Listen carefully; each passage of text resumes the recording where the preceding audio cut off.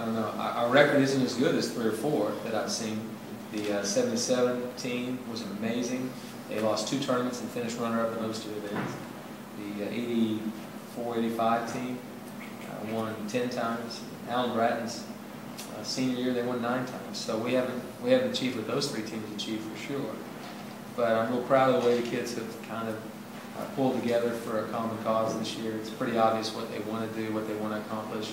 We have basically the same goals every year. This year, maybe a little higher motivation factor uh, based upon the last two years. So they're, they're ready. Uh, they've prepared the right way. We'll see how they do during the week, but they've definitely prepared the right way. Back to Kevin, how, how difficult was it for him coming in here with the fact that his dad had so much tradition here? You know, was there ever a kind of a, a point where he had to realize that he had to make his own kind of mark in the program? Well, that's the, the beauty of it. He didn't come in as Bob Tway's son. He won the U.S. Junior Championship, the biggest junior golf tournament you can win in the entire world, uh, on his uh, 17th birthday. And um, so, or actually it was on his 18th birthday. You had to be 17 when the tournament started. But anyway, I mean, he, in the following year he came out and I think he uh, was a, uh, no, I- that was his 17th birthday. And he was a semifinalist the next year. So Kevin, he had already made a name for himself, AJGA All-American. I mean, he was Kevin Tway when he got here. I actually recruited Kevin. Most people think that that would have been an obvious, well, he's coming here anyway, I don't need to do anything. I went through the entire recruiting process with Kevin. I wrote him letters and watched him play tournaments. He earned that, and so uh, I did that with Kevin. And uh, I don't think, I've never used comparisons with him personally with his dad because I don't think that's fair. It would be just as unfair to try to compare me to Mike Holder or Mike Holder to Labron Harris. It's not really applicable. I mean, Labron Harris was in a completely different era when there were about four really good golf teams. He was battling uh, teams that actually had a budget, and he didn't have one.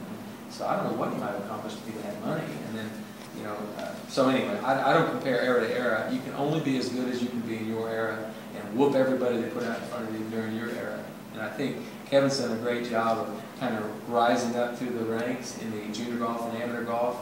And we think he's ranked two in college golf right now, maybe three, and about three or four in the world in amateur golf. So Kevin's earned his spot, I believe. The inter-team competitions must be pretty fierce in this bunch. I know they're all good friends, but they've got a little bit of oh, rivalries in there too. There are some rivalries. The, the thing about, I was never a very great player. I wasn't very good either. But I know these really great players that come in here, they all have to have an ego. And that's important. If you want to be a great player in golf, I, I bet Jack Nicklaus might have been the most egotistical golfer in the history of the game. And yet, he was one of the most gracious winners and gracious losers, the finest example of sportsmanship we've ever had, ever. And I'm including any player that plays the game today. But within him, there had to be a great ego. Well, okay, on this team, there's three or four of the best amateur golfers in the, in the world on this team. Those guys all have egos, so they're going to collide occasionally. It's not going to be in, in, in, in a football team. If you have that, you've got 110 players. You can quarantine egos. You can get them kind of pushed to the side or whatever. In a golf team, it's a very small unit, so that's a challenge both for the players and for myself. But these guys all have the same goal in mind. They all the same goals. They all want to be the best college player. They all want to be the best tour player, the best player in the world someday. And they all came to Oklahoma State because they wanted to be on the championship team. So it's easy to put any egos that you might have aside. It's no big deal. Uh, we're all here for the same reason. Uh, and they do push each other, and they give each other a hard time. So they're good friends off the course, but when they're on, they hate each other. Is that has that you know aiding their development as well? I, I think it does. I think, like I said, uh, if you were a great player at one point, you'd know. I don't know. So, but I do, I do know what they say, and that is that they want to compete against the best. There's no other reason Morgan Hoffman showed up on campus, or Rickie Fowler showed up on campus, or whatever.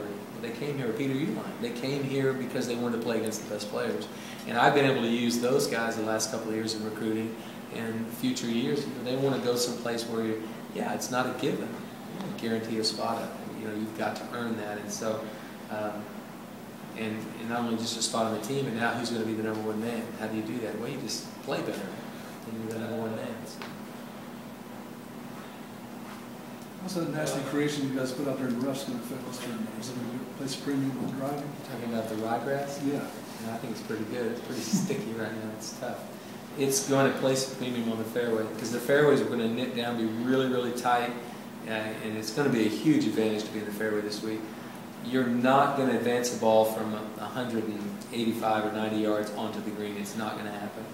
And it couldn't, didn't happen in 03. And we actually had a lot of moisture in that winter of 02, 03. So it was even a little bit thicker then, but it's plenty thick right now to enable you to take a five iron out of the rough and knock it on the green. You just won't do it. So now the fairways are generous. They're wide. Uh, if you've been out on these fairways, you realize they're not that narrow. But once you get out of them, you get that ryegrass, and once you get out of that, you've got pretty much death. So I wouldn't go there if I were you. You might survive uh, finding your golf ball, but you might get killed by a snake or a tick or something. It's pretty rough out there. Have you been surprised at all or impressed by the, the way Peters handled all the uh, attention he's gotten? I've been impressed. I think uh, he's had a lot of attention poured his way, and you know he's done a better job of communicating. He gets better with interviews. Uh, he's got a great personality. He needs to be able to show that. He's done a better job of that. Uh, and obviously, he's had a lot of. He's been a number one ranked amateur for a couple, about a year and a half. Been either number one or two ranked college player for for the whole year. So he's had a lot of attention his way, and he's done a nice job of handling it. And he's done a good job of responding to it by playing pretty well. So, The first, sorry, Go ahead. first pair of teammates to be finalists with Hogan Award, first three-time regional champion. Now you get to have this championship at home. Does it feel like maybe the stars are kind of aligning for you guys a little bit? do stars have anything to do with it? I don't think luck has anything to do with it. I think uh, I think that the team has prepared very well, and I think that they've tried to prepare physically, but they more importantly have tried to prepare themselves mentally to be in the right frame of mind to play well. I don't want to do a lot of coach speak here. That's no fun, but the uh, that is what you try to do. You try to be in the best mental position you can at all times. That golf course is going to beat people up, and it's going to beat some cowboys up too. And when you least expect it, it's going to knock you right up against. You know, it's going to put you back on your heels. But I think they've done a good job of getting prepared for that. And then I don't know if the stars are all aligned, but I sure hope so. it would be nice. How will this course play differently as a match play than the ones played the last two years? You can swing freer from the tee uh, because if you happen to knock one offline or get out there, it won't uh, just be one hole lost, not not four strokes or three strokes. If you uh, uh, drive it in the, the fairway, the guy that hits it just four feet in the rough, I mean, you've got some mental advantage on him right away. So, you know, I mean, and you're just playing that one guy. You just got to go out and whoop that one guy. So, uh, you know, it, it's an advantage, I think, if you play from the fairway. It'll be a different match match play course than than. Uh, if we'd have played match play last week at Colorado, everybody have been just swinging as hard as they could, hitting it as far as they could. Uh, wouldn't have been a big advantage to be in the fairway because the rough there wasn't any rough. They weren't. That's not their fault. They just didn't have the weather this year to be able to get some rough. So I think that it'll be a great match play course because guys will be swinging freely and trying some things maybe they wouldn't normally do. The scores you put up in the first two rounds last week when you went in the cold had to be quite an eye-opener for the rest of the field. Oh, I don't know. I didn't talk to any of the other coaches, but uh, it was a it was a nice eye opener for me. I thought that was great. I didn't expect scores that low, even though I thought the course was pretty easy. I didn't I didn't expect scores that low because the conditions were so bad.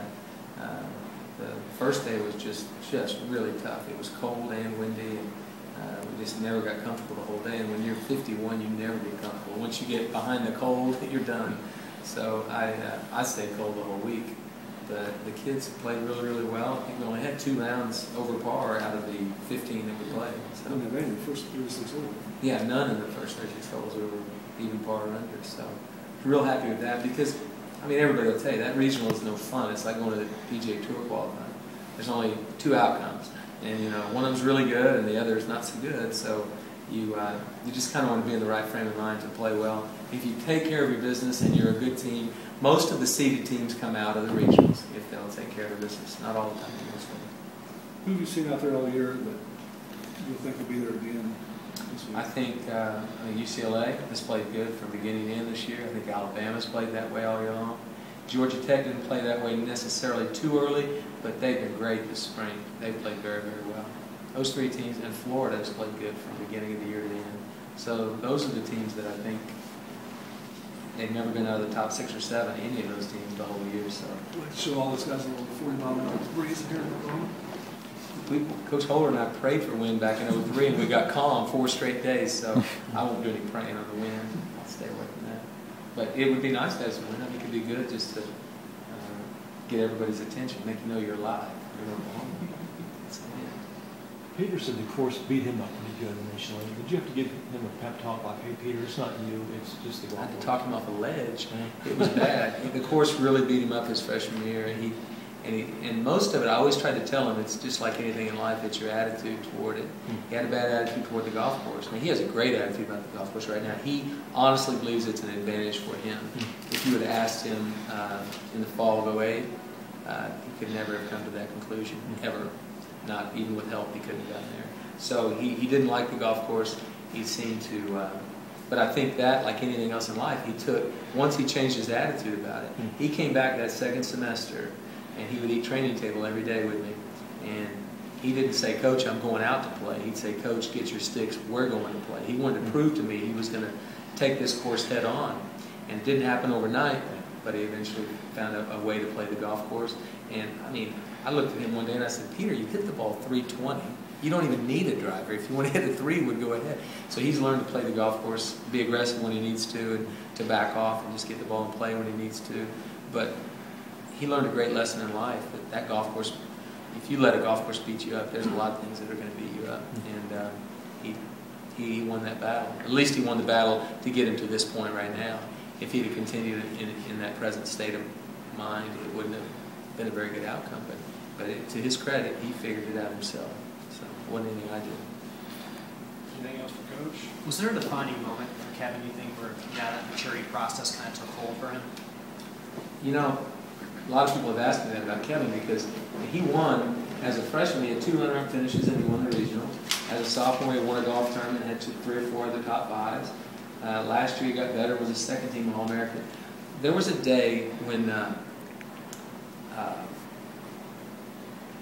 after the national championship last year, um, he was he came to Stillwater. He called me. He was coming up here to get some gloves. He had left them in for the summer in his locker, and he uh, he called me up and said, "Coach, you at the golf course? I can't get in." I said, "Yeah, I'm in the office." So I went out and got him. He came in right into the locker room, and he stopped by that that uh, that wall that has the first team All Americans and the second team and third team. Well, he was the second team All American last year, and he stopped and he looked at that spot where the first team All Americans were, and he said, uh, "I'm going to be there next year."